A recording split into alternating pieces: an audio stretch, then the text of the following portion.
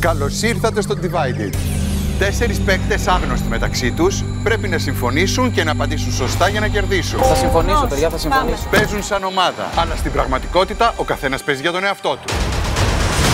Μόνο τρεις παίκτες θα φτάσουν στον τελικό διεκδικώντας πολλές χιλιάδες ευρώ. Κάποιος από εσάς θα πρέπει να φύγει. Και αυτό θα το αποφασίσετε εσείς. Στο τέλος πρέπει να αποφασίσουν πώς θα μοιράσουν τα κέρδη τους. Αν δεν το αποφασίσουν μέσα σε λίγα δευτερόλεπτα, κινδυνεύουν να φύγουν με άδεια χέρια. Δεν υπάρχει περίπτωση να κάνω πίσω, να το ξέρετε. Κυρίες και κύριοι, αυτό είναι το Divided. Divided με τον Φώτη Σερβουλόπουλο.